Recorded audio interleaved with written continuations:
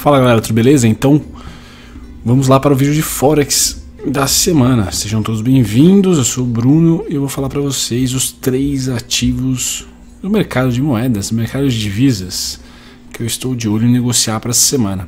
E um deles, o primeiro, é o CAD-JPY. O que, que eu observei aqui? Eu observei que nós já tivemos um encontro aqui simétrico interessante já houve vendas, legal, mas agora há um, uma retração. E essa retração também já encontra já encontrou, perdão, a área simétrica. Legal. Depois desse candle aqui, a gente vai trabalhar no intraday pontos para a gente estar tá vendendo novamente, certo?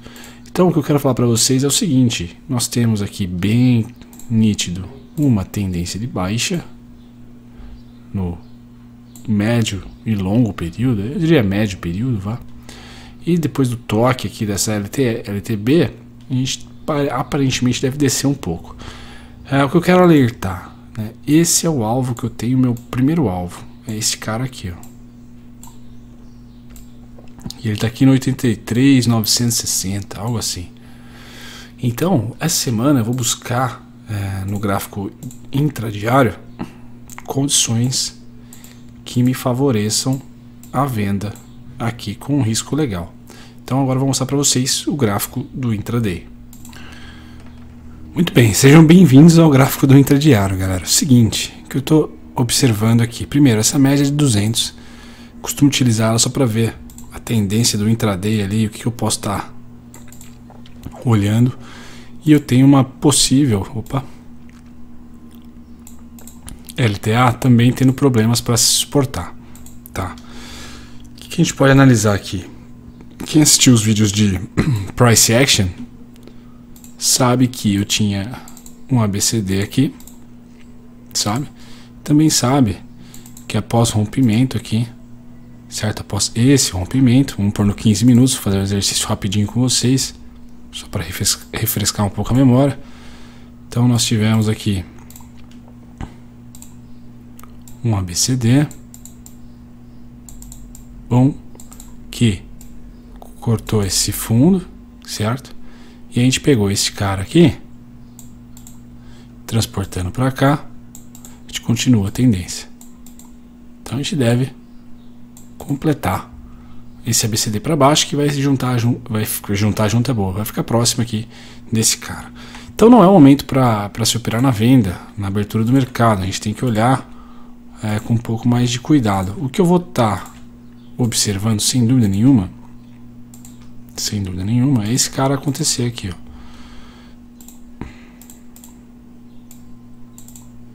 Que não aconteceu. Então esse é o fluxo que eu vou estar tá de olho no intradiário. Certo? Para observar novas vendas de scalping, por exemplo. Então, conforme vai descendo, eu vou sempre observar esse cara aqui para que eu opere na venda no final dele, certo? Então esse é o, é o olhar um pouco mais intradiário sobre o CAD JPY, lembrando que a venda foi aqui no diário, já está acontecendo e o alvo está aqui no 960, lembra que eu falei? Então tem ainda um belíssimo, né, um belíssimo upside, é, downside, certo? Tem bastante PIP aqui para acontecer.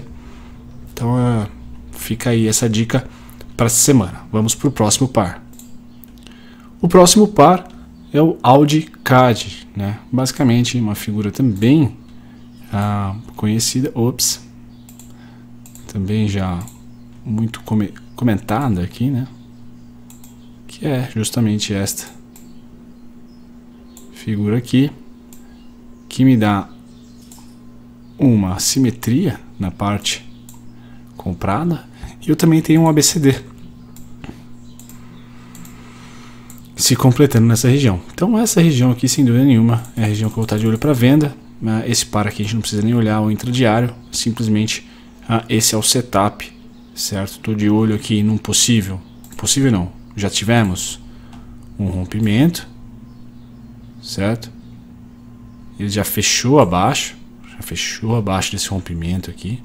E agora a gente veio para uma retração, legal.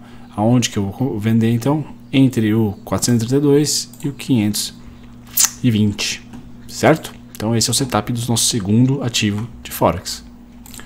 Vamos para o último setup, que é no euro NZD, né? Euro contra a moeda nova zelandesa.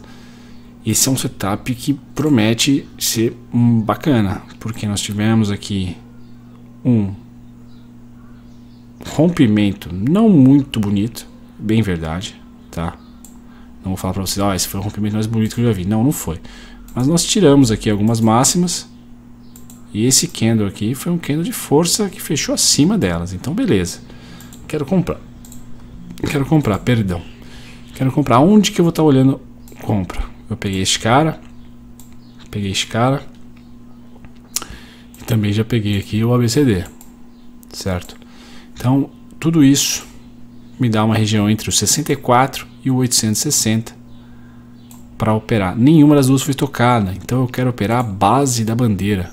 Eu não estou acreditando que essa será o alvo, que esse será o alvo, tá? Não mesmo. Mas eu estou acreditando em algo assim. Eu copiei esse cara, certo? Vi que ele se repetiu timidamente algumas vezes aqui. Esse candle aqui é verde, mas ele é bem vendedor, tá vendo? Então eu repeti uma, duas, três. E agora eu estou apostando num A, B, C, né? Na, na, correção do Elliott. Quem é elotista, por favor, me corrija.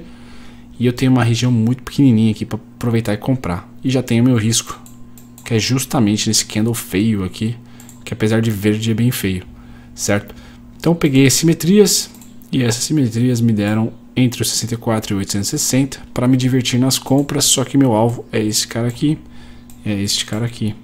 É este cara aqui, certo? Não é toda essa bandeirada aqui não, tá bom galera? Então fica aqui, Forex semanal, espero que vocês uh, tenham gostado, deixe seus comentários por favor, e se você tem uma, um ativo em específico que você quer que eu estude, fique à vontade para deixar nos comentários aí, tá bom? Assim que eu ler, eu mando no TradingView ou em algum outro lugar. Falando em TradingView, as três ideias desses três trades que eu falei para vocês agora, os links delas estarão aqui na descrição desse vídeo. Não deixe de me seguir no TradingView. Sempre legal ter uma comunidade cada vez maior lá. E também, se quiserem acompanhar a ideia e vocês estão no trabalho, de repente é fácil, fácil. É só entrar no br.tradingview.com e procurar por Bruno Mazzoni. Tá bom, galera? Um grande abraço. Fiquem com muita calma e cautela nesse domingão. Aproveitem a família. Tchau, tchau.